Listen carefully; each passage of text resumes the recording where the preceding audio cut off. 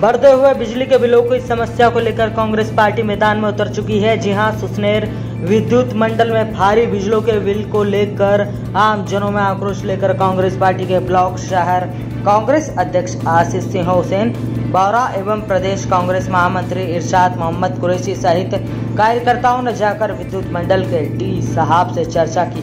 D साहब ने आश्वासन दिया है कि तीन दिनों में समस्त आवेदनों का निराकरण कर दिया जाएगा। कांग्रेस पार्टी के कार्यकर्ताओं ने कहा है कि यदि तीन दिन में अगर बिजली के बढ़े हुए बिलों को कम नहीं किया गया तो कांग्रेस पार्टी उग्र आंदोलन पे उजारू हो जाएगी। सुसने से दिनेश जैन की रिपोर्ट अवंतिका न्यूज़ एक्सप्रेस। के हमारे लिए हर एक मानवीय समस्या हमारे लिए समस्या। उचित काम होना चाहिए।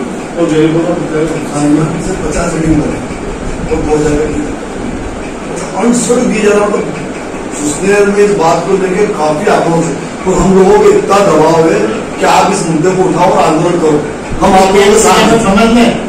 आपने जिस दिन उतना आए थे श्रीमान हम लोग आए थे उस दिन। आपने आपकी बात से संतुष्ट हैं।